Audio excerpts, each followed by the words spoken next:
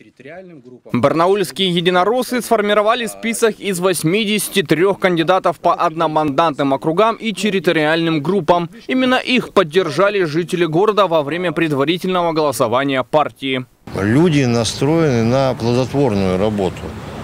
Ну, я думаю, они конструктивно интегрируют сам процесс и будут, конечно, городу помогать. Принималось очень много взвешенных, выверенных решений.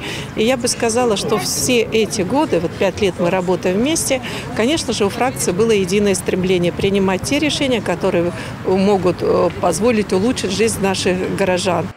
За эти годы партийцы старались увеличить бюджет на ремонт дорог, дворов и общественных пространств.